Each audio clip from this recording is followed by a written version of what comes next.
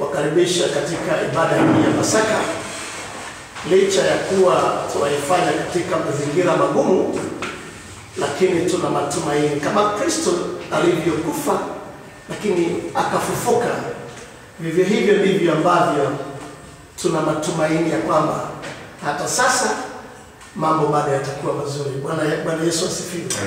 Tutapata masomo yetu uh, yataambatana.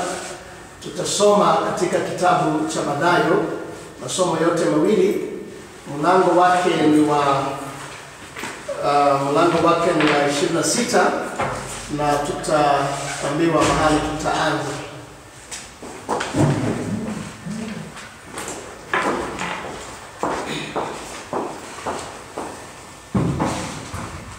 Bwana asifiwe. Kwa majina yangu ni Oliver Mudhoni Gachagua, nampenda Kristo kama Bwana na Mwokozi wa maisha yao. Tutasoma masomo somo letu la kwanza kutoka Mathayo ishirini na sita kuanzia thelathini na sita mpaka arobaini na saba. Mathayo ishirini na sita kuanzia thelathini na sita mpaka arobaini na saba. Na tuanze. Kisha Yesu akaenda pamoja nao mpaka bustani itwayo Getsemani. Aka- Akawaambia wanafunzi wake, ketini hapa hata niende kule nikaombe. Akamchukua Petro na wale wana wawili wa Zebedayo, akaanza kuhuzunika na kusononeka. Ndipo akamwambia roho, ndipo akamwambia roho yangu ina huzuni, ina huzuni nyingi kiasi cha kufa kaeni hapa mkeshe pamoja nami. Akaendelea mbele kidogo, akaanguka kifulifuli, akaomba akisema, Baba yangu, ikiwezekana kikombe hiki kiniepuke, wala walakini si kama nitakavyo mimi, bali kama utakavyo wewe. arobaini. Akawaajia wale wanafunzi akawa akawakuta wamelala, akawaambia Petro, je, hamkuweza kukesha pamoja nami hata saa moja? Kesheni muombe, msije mkaingia majaribuni. Roho iradi, lakini mwili ni dhaifu. Akaenda tena mara ya pili, akaomba akisema, Baba yangu, ikiwa haiwezekani kikombe hiki ki, ki, ki, sorry ikiwa haiwezekani kikombe hiki kiniepuke, nisipokunywa, mapenzi yako yatimizwe. 43. Akaja tena akawakuta wamelala, Ma, maana macho yao yamekuwa mazito. Akawaacha tena, akaenda akaomba mara ya tatu, akisema maneno yale yale. Kisha akawajia wanafunzi wake, akawaambia, laleni sasa, mpumzike. Tazama, saa imekaribia na mwana wa Adamu anaitwa katika mikono ya wenye dhambi. 46. Ondokeni twende zetuni, tazama yule anayenisaliti amekaribia. 47 ni ya mwisho. Basi alipokuwa katika kusema tazama, Yuda mmoja wa wale dinashara akaja, na pamoja naye kundi kubwa wenye panga na marungu wametoka kwa, wa, kwa wakuu wa makuhani na wazee wa watu. Bwana alibariki neno lake na neno linaendelea.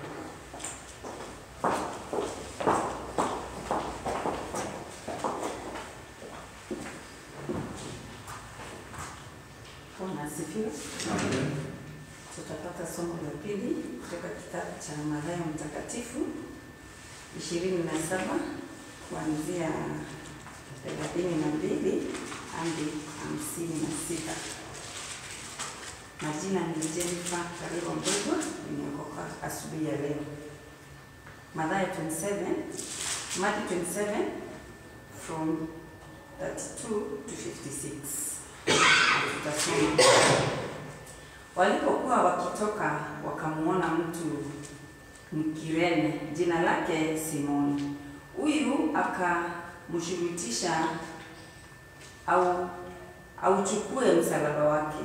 Na walipofika mahali paitwapo Golgotha, yaani fuvu la kichwa, wakampa kunywa divai iliyochanganyika na nyongo. Lakini yeye alipoionja akutaka kunywa. Walipokwisha kumsulubisha, waligawa mavazi yake, wakipiga kura ili litimie neno lililonenwa na nabii. Waligawa nguo zangu kati yao, na juu ya vazi langu walipiga kura. Wakaketi wakamulida huko, wakaweka juu ya kichwa chake mashtaka yake yaliyo yaliyoandikwa, huyu ni Yesu mfalme wa Wayahudi. Wakati huo huo wanyang- wanyang'anyi wawili wakasulubiwa pamoja naye, mmoja mkono wa kuume na mmoja mkono wake wa kushoto. Nao walikuwa wakipita njiani, waka wakam, wakam, wakamtukana sorry. Nao walikuwa wakipita njiani wakamtukana waki wakitikisha wakitikisha wakitikisha tikisha vichwa vyao wakisema, ewe mwenye kulivunja hekalu na kulijenga kwa siku tatu, jiokoe nafsi yako. Ukiwa ndiwe mwana wa Mungu, shuka msalabani. Kadhalika na wale wakuu wa makuhani wakamdhihaki pamoja na waandishi na wazee, wakisema, aliokoa wengine, awezi kujiokoa mwenyewe. Yeye ni mfalme wa Israeli, na ashuke sasa msalabani, nasi tutamwamini. Amemtegemea Mungu na amwokoe sasa, kama anamtaka, kwa maana alisema, mimi ni mwana wa Mungu. Pia pale wanyang'anyi waliosulubiwa pamoja naye walimshutumu vilevile. Basi tangu saa, saa sita walikuwa na giza juu ya nchi yote hata saa tisa. Na kama saa tisa Yesu akapata sauti yake kwa nguvu akasema, Eloi Eloi lama sabakithani, yaani Mungu wangu Mungu wangu, mbona umeniacha? Na baadhi hao waliohudhuria waliposikia walisema, huyu anamuita Elaya. Mara moja wao akaenda mbio, akatoa sifongo, aka akaijaza siki, akaitia juu ya mwanzi, akamnywesha. Wale wengine wakasema, acha na tuone kama Eliya anakuja kumwokoa. Na Yesu akisha kupata sauti tena kwa nguvu, akaitoa roho yake. Na tazama, pazia la hekalu likapasuka vipande viwili toka juu hata chini.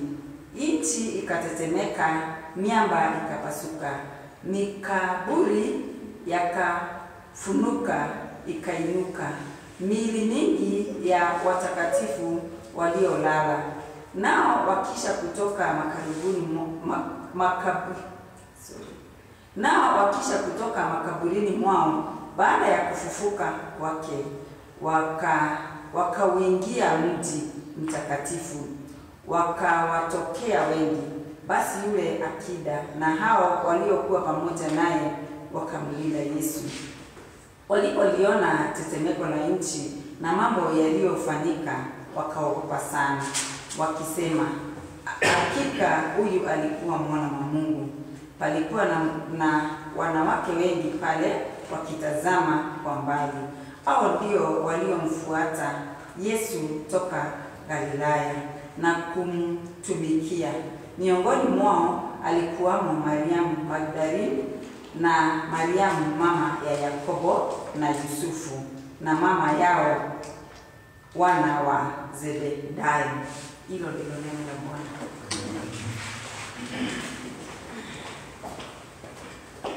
Tuimbe vifungu viwili namba 87 tenzi. Deni ya dhambi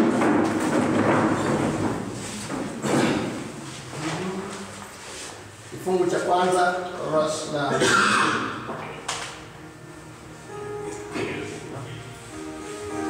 87.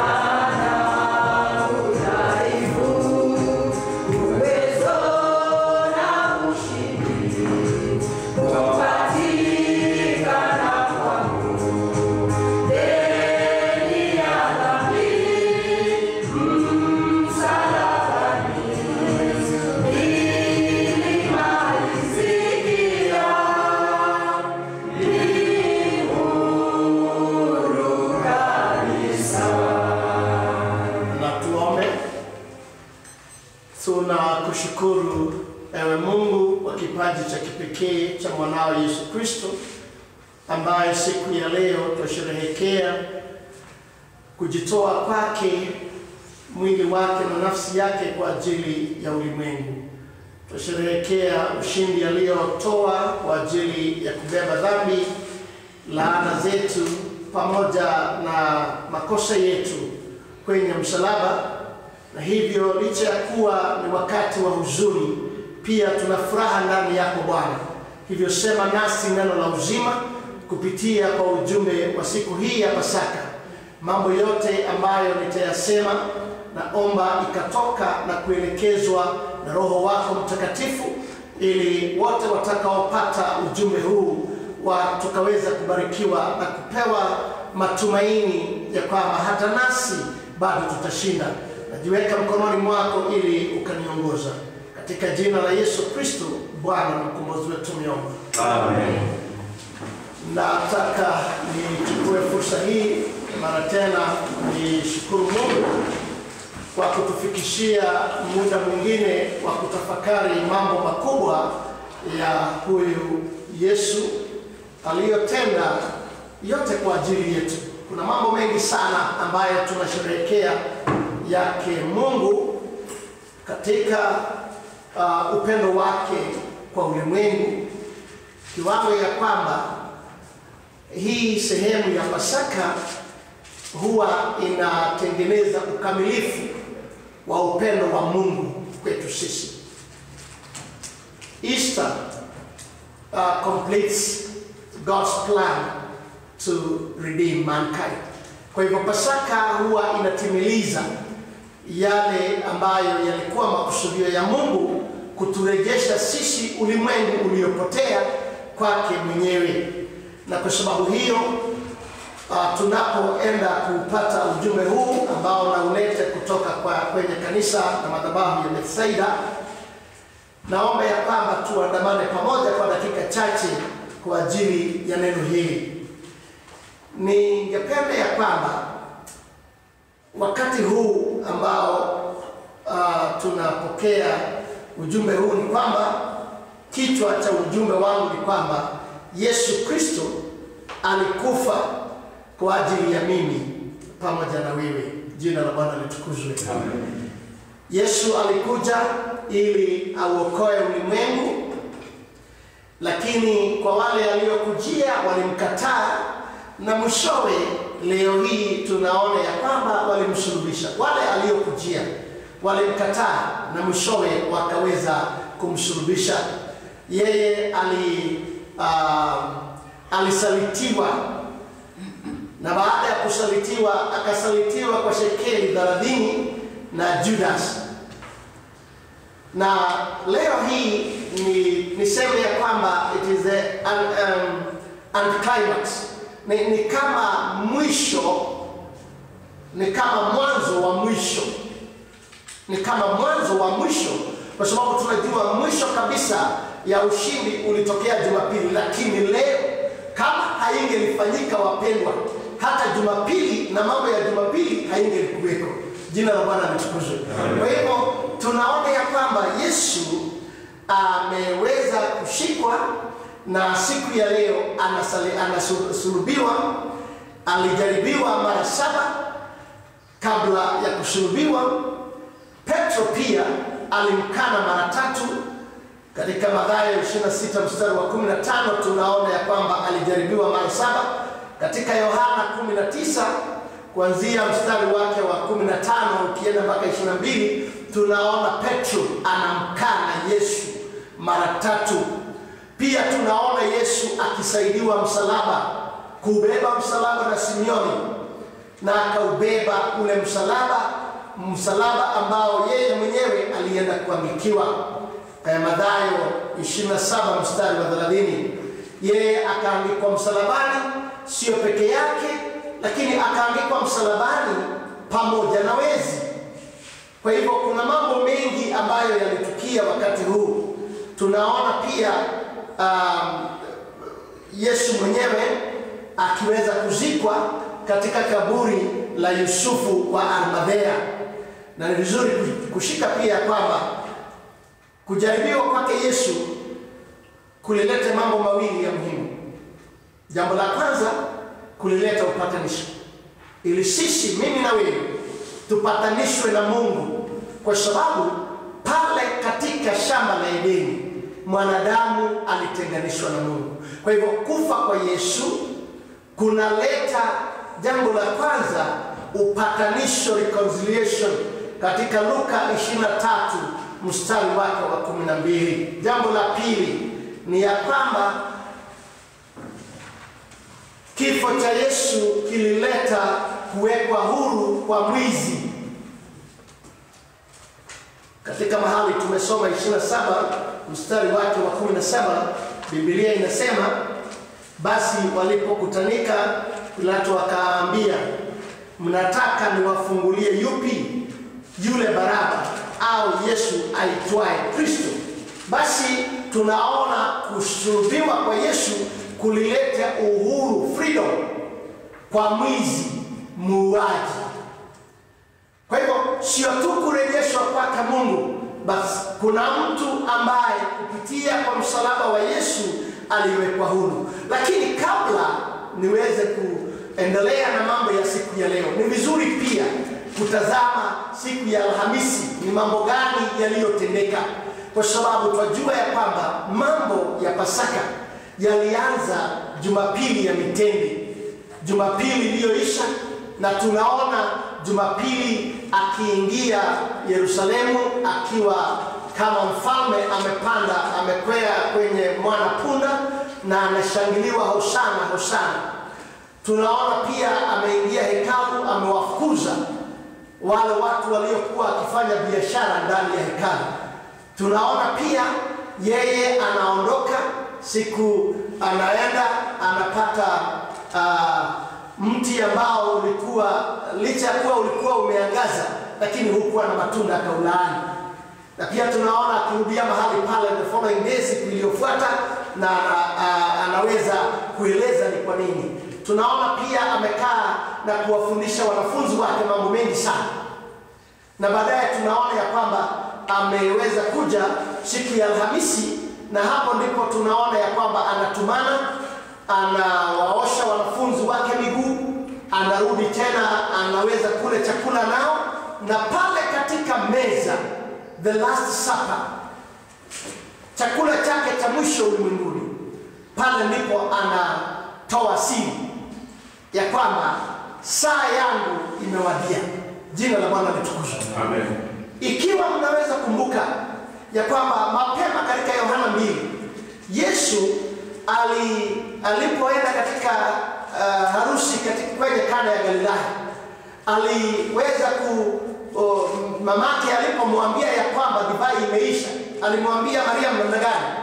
Wakati wangu na saa yangu haijafika. Lakini sasa anawaambia dhahiri ya kwamba muda wangu umefika, my time has come. Hii ni kwa sababu kila mmoja wetu wakati wake huwa unafika. Jina la Bwana litukuzwe. Na hivyo siku hii ya Ijumaa tunaona akiwa sasa anakula na wanafunzi wake. Niseme ya kwamba Judas aliyeishi na Yesu na kuhudumu pamoja na Yesu miaka mitatu alikuwa mmoja katika meza ya Yesu. He was there na tunajua ya kwamba ni katika hiyo meza alipowaambia wanafunzi ya kwamba mmoja wenu atanisaliti.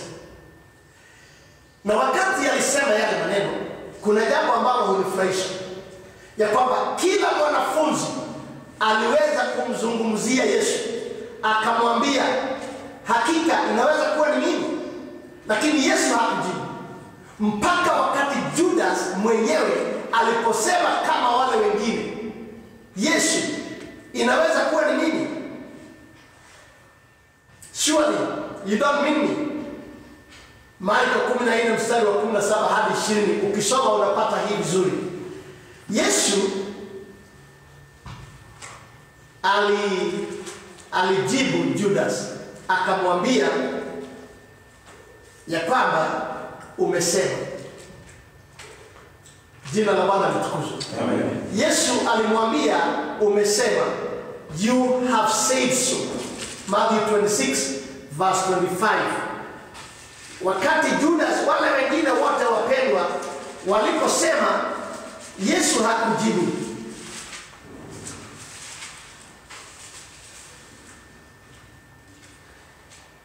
Mstari wa 26 verse 25, Biblia inasema Yuda yule mwenye kumsaliti akajibu akisema, ni mimi, ni mimi Rabii. Akamwambia, wewe umesema, you have said it. Nataka kusema nini wapendwa? Ya kwamba Yesu ni kujipeana, alijipeana kwa ajili ya mimi na wewe. Si kwamba hakujua wala hakuelewa ya kwamba yeye atapitia kwa mateso na mwishowe akakufa. Si kama sasa sisi tumenyamaza na tumenyamaza mpaka wakati tumeambiwa kuna coronavirus. Sio, Yesu alielewa, maana Yesu ni Mungu na alielewa ya kwamba kutafika wakati mgumu. Hivyo maneno yake ya kusema wa saa yangu imefika ni katika njia ya kukubali, kukukomboa na kukupatanisha wewe na mimi kwa Mungu, ya kwamba imefika wakati na saa ya upatanisho. Jina la Bwana litukuzwe. Pasaka ni wakati wa upatanisho. We were reconciled to God, tulirejeshwa kwa Mungu. Hivyo hai, hata vipi, wapendwa, kuna kule kurejeshwa kwa Mungu. Hata kama uchumi utazorota, lakini tuna hakikisho, kwa sababu katika Pasaka sisi tu wana wake Mungu kupitia kwa urejesho tuliopata kwa msalaba siku ya Pasaka. Wapendwa, mambo haya yalitendeka ili Mungu adhihirishe upendo wake sisi kwetu. Na kwa sababu gani? Siku hii ya leo, siku hii ya leo Yesu alitolewa ushuhuda. Are testimonies of Jesus Christ katika siku hii ya leo, maana tunapata katika John 18 verse 38 na, mlango wa 19 mstari wa sita ya kwamba Yesu Kristo, Pilato mwenyewe alitangaza huyu Yesu hana makosa. Huu ni ushuhuda wa kwanza wapendwa, na hivi hii ni dhahiri ya kwamba Yesu alikuja kutimiza kazi ya urejesho kwe- kwetu na Mungu. Maana uh, on this verse, sijui nieleza vizuri kwa ki- kwa kwa nitaelezaje kwa Kiswahili, lakini at, at that very point when Jesus was under great tribulation and suffering and trials, ili akaidi jukumu lake la kuja ulimwenguni, bado kunatolewa ushahidi ya kwamba Pilato anasema Jesus Christ is guiltless. Pilato, mke wa Pilato, alipoangalia akamshawishi Pilato, akamwambia yeye huyu mtu ni wa haki. Mstari wa 19 verse 27, Biblia inasema ndipo askari verse, um, verse 19 na alipokuwa ameketi juu ya kiti cha hukumu, mkewe alimpelekea mj- mjumbe kumwambia, usiwe na neno na yule mwenye haki, kwa sababu nimeteswa mengi leo katika ndoto kwa ajili yake. Pilato anashuhudia ya kwamba Yesu hana makosa. Mke wake katika ndoto anasumbuka, anakuja anakuja kwa mmewe Pilato, anamwambia huyu mtu ni mtu mwenye haki. Wapendwa, katika Luka 23 mstari wa mwenye haki. Jesus was given a testimony as a righteous man. Judas Iskarioti mwenyewe anatangaza ya kwamba huyu hana makosa katika mlango mstari wake wa tatu na wa na, na sita chapter 27 kisha yuda yule mwenye kumsaliti alipoona ya kuwa amekwisha kuhukumiwa alijuta akawarudishia wakuu wa makuhani na wazee vile vipande thelathini vya fedha akasema nalikosa nilipoisaliti damu isiyo na hatia. Judas mwenyewe anashuhudia sijui ni mara ngapi sisi tunaweza kushuhudiwa. Sijui ni mara ngapi tunaweza kushuhudiwa. Na watu wengine sijui ni mara ngapi ukweli wapendwa katika hali ambazo ni ngumu tunaweza kushuhudiwa ya kwamba we are innocent we are righteous we are just. Ni wakati gani mpendwa ama wakati wa ugumu kama huu ukristo wetu umezikwa? Na shukuru kwa wale ambao wameendelea kutoa jumbe ya kwamba licha ya kuwa milango ya makanisa ilifungwa mlango wa kanisa lililo kuu na ni kanisa lililo ndani yangu na wewe haukufungwa. Hivyo kristo bado anatamalaki hivyo wakati huu sijui kama kuna watu bado wanatoa ushuhuda kuliko kukuliko. Kwa sababu hata judas wapendwa sio pilato peke yake alishuhudia. Sio mka wa pilato peke yake alishuhudia. Pia judas mwenyewe anasema huyu mtu hana makosa. Sio judas peke yake. Katika luka 23 na verse 41 tunaona yule mwizi pale msalabani anasema maneno haya kumshuhudia kristo. Katika luka 23 mstari wake ni wa 41 biblia inasema nayo ni haki kwetu sisi kwa kuwa tunapokea malipo tuliyostahili kwa matendo yetu. Bali huyu hakutenda lolote lisilofaa. Again another testimony kuhusu yesu. Right at the cross. Jina la bwana litukuzwe katika msalaba wenyewe yule mwizi anatoa ushuhuda kwa yesu. Anasema huyu mtu hajatenda kosa lolote. Hata wale wakati alikata roho katika mstari wa hamsini na nne Matthew 27 mstari wa hamsini na nne wapendwa hata wale maakida mstari wa hamsini na nne unasema basi yule akida na hao waliokuwa pamoja naye wakimlinda yesu walipoliona tetemeko la nchi na mambo yaliyofanyika wakaogopa sana wakisema hakika huyu alikuwa mwana wa mungu jina la bwana litukuzwe. Kilio changu wa kristo siku ya leo. Tunaposherehekea Pasaka, je, sijui kana kwamba kuna ushuhuda unaoweza kupeanwa kwa ajili yako, ama tumesongwa na mambo, tumesongwa na mateso ya pesa, tumesongwa na shida za kufungiwa biashara, mpaka Ukristo na kanisa lililo ndani yetu haliwezi kuangaza. Kumbuka maandiko yanasema ya kwamba katika Mathayo tano anasema ya kwamba ninyi ni nuru ya ulimwengu. Jina la Bwana litukuzwe. We are the light of the world. Na ikiwa sisi ni nuru, basi taa haiwezi kuashwa na kufunikwa. Inamaanisha ya kwamba taa inastahili kuangaza wa uchungu. Taa inatakiwa kuangaza hata wakati wa mateso. Taa inatakiwa kuangaza hata wakati wa kiangazi. Taa inatakiwa kuangaza ushuhuda zote ambazo tumezipata.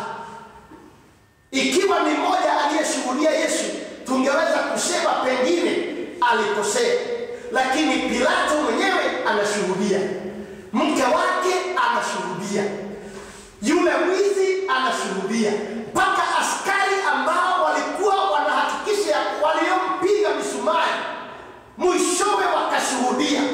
How much more sisi ambao tunaitanishwa na kifo cha Yesu, ambao tumebatizwa, ambayo ni ishara ya kufa na kufufuka ndani ya Kristo, tunaweza kushuhudiwa na watu hata wakati huu. Nataka kusema mambo matano ili niweze kumaliza yale ambayo ni ya kweli. Nataka kusema mambo matano ambayo ni ya kweli. Jambo la kwanza, the first fact ni ya kwamba Yesu alisulubiwa kwa ajili yako.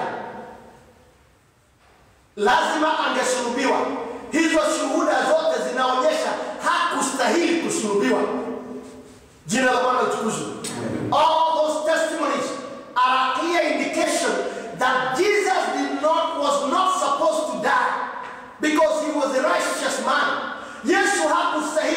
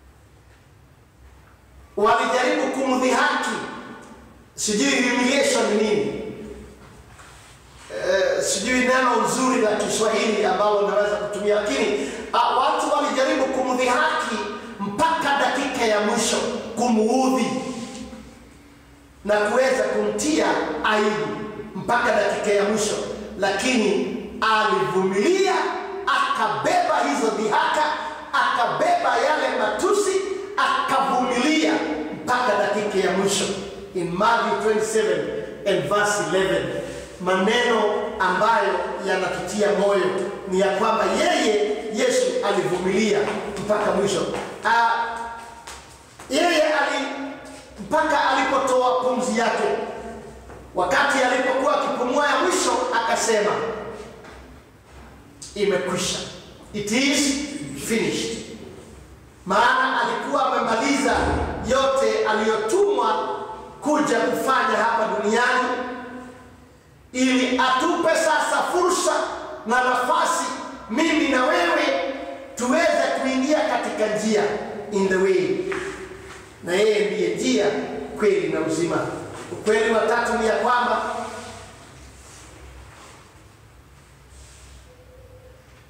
kulingana na Yohana Mtakatifu 12:31 ni ukweli ya kwamba Yesu kupitia kwa msalaba alimshinda shetani. Mateso yote aliyokuwa akifanyiwa ilikuwa mbinu ya shetani ya kumfanya asi finally ama mwishowe asiingie kwa msalaba, lakini kukubali kupigwa kwenye msalaba, basi alimshinda shetani ambaye ndiye anatawala ulimwengu huu. Na kwa sababu hiyo, katika msalaba wa Kolosai mbili mstari wa 15 unatuambia vizuri vile ambavyo yeye alimshinda shetani. In Colossians chapter 2 and verse 15, Biblia inasema ya kwamba mstari wa 15, maandiko yanasema ya kwamba akiisha kuvivua e, e, kuzivua enzi na mamlaka na kuzifanya kuwa mkogo kwa ujasiri, akazishangilia katika akazishangilia katika msalaba huo. Inamaanisha ya kwamba shetani hakupendezwa na kile Yesu mwishowe alifanya, lakini Yesu he disarmed the powers and the authorities of this world. Alizivua. Bwana Yesu asifiwe. Alizivua. Wacha tuanze mstari wa 13 pale wa Kolosai mbili ili tuweze kuelewa. Na ninyi mlipokuwa mmekufa kwa sababu ya makosa yenu na kuto kutahiriwa kwa mwili wenu, aliwafanya hai pamoja naye, akiisha kutusamehe makosa yote, akiisha kuif, kuifuta ile hati iliyoandikwa ya kutushtaki kwa hukumu zake, iliyokuwa na uadui kwetu, akaiondoa isiwepo tena akaigongemea msalabani, akiisha kuzivua enzi na mamlaka na kuzifanya kuwa mkogo kwa ujasiri, akizishangilia katika msalaba huo. Kwa hivyo katika msalaba huu ndio ukweli nambari ya tatu ya kwamba alimshinda shetani kwa ajili ya wewe na mimi, ili nasi tumshinde shetani. Jina la Bwana litukuzwe. So he, he disarmed the devil, ili sisi tusikaingie na kupokea yale yaliyoandikwa katika Warumi mbili mstari wa kumi na nne ya kwamba mshahara wa dhambi ni mauti. Ukweli wa nne ni ya kwamba alifufuka kama vile ilivyokuwa imetabiriwa mara kadhaa. He rose, hakubaki kwa msalaba, pia hakubaki kwa kaburi. Kweli wa mwisho ni kwamba atarudi tena, maana yu hai, atarudi. As we celebrate, tunaposherehekea Pasaka, wapendwa, ni ombi langu ya kwamba tusikae kana kwamba ahadi yake Yesu haitatimia. Jesus is coming back again, but he's coming for you and he's coming to you and to me. Kwa hivyo anakuja kwako na anakuja kwangu, na tunastahili kuwa na ujasiri wa kujua hivyo. Anarudi tena ili amalize kazi ya kutunganisha naye Mungu. Nikimaliza niseme ya kwamba, wapendwa,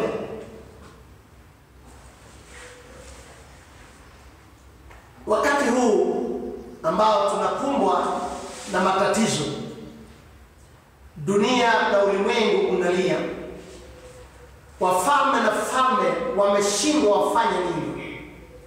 Kwa mara ya kwanza tunatangaziwa baadhi ya viongozi wa nchi za dunia hii wako katika ICU kwa sababu ya shida ile ile ambayo inamkumba mtu mdogo, ambayo mara nyingi wakubwa walikuwa hawashikwi na magonjwa ya watu wadogo.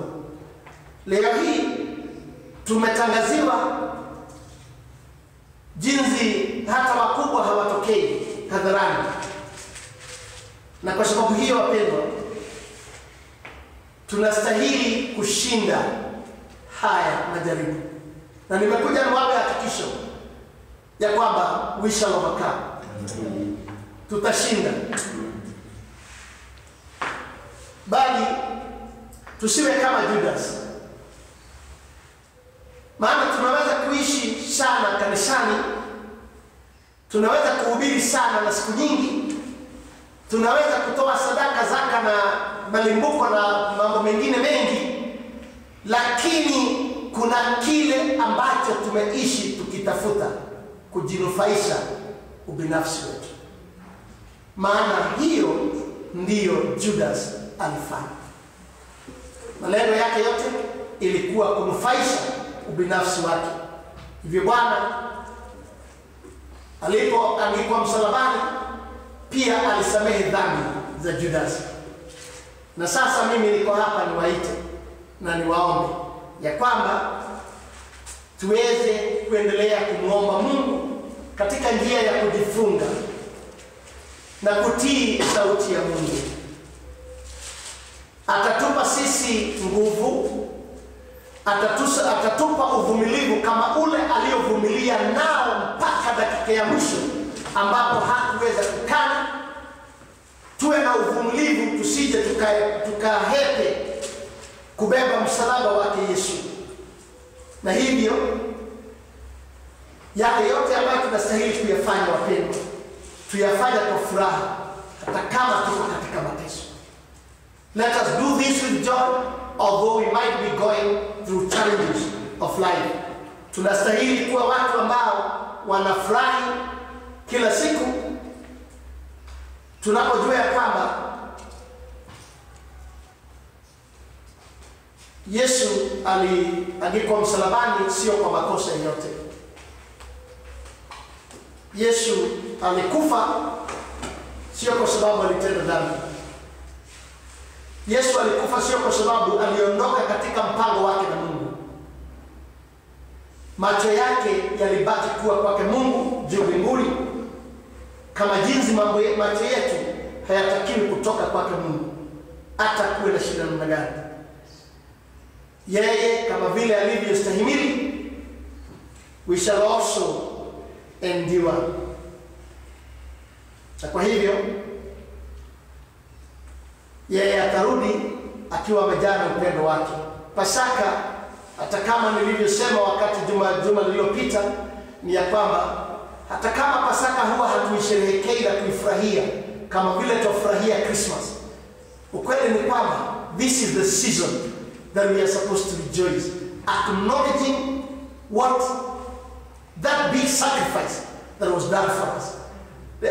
Pasaka ndiyo ambayo tunatakiwa kuwa wa kusherehekea kwa sababu ya kile kilichotokea na kikafanyika, kwa wale ambao wanampenda, kwa wale ambao wanamjua Yesu na kwa wale ambao Yesu atarudi kwa ajili yao. Swali ni atakaporudi, atarudi kwa ajili ya nani? Atarudi kwa ajili yako ama atarudi kwa ajili yangu? Katika jina la Mungu Baba, Mwana na Roho Mtakatifu, Amen. Natuombe. Asanti Mungu Mwenyezi kwa wema na fadhili zako ambazo umetupa kupitia kwa Pasaka. tusaidia kujua na kufurahi ndani ya Pasaka, maana hapa ndipo ushindi wetu ulitoka. Tusaidie kufurahi na kushangilia katika Pasaka, maana hapa ndipo tunapokea uvumilivu wetu kama vile Kristo ulivyovumilia. Tusaidie kufurahi na kusherehekea katika Pasaka, maana ni katika Pasaka wokovu wetu ulipatikana. Tusaidie kusherehekea na kufurahi katika Pasaka, maana ni katika Pasaka tuliunganishwa, tulirejeshwa, we were reconciled back to our God and our Maker. Bariki watu wako, tutie nguvu sote pamoja Bwana, tusaidie kusimama wima ili tusikaondoke hata katika nyakati za mateso.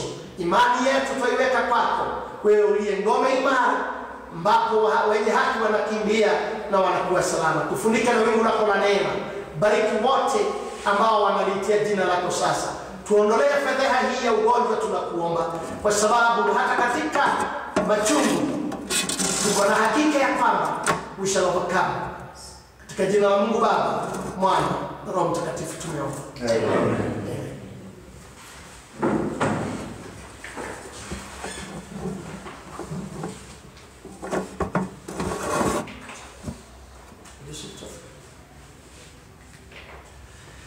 Asante Bwana, tubariki sote.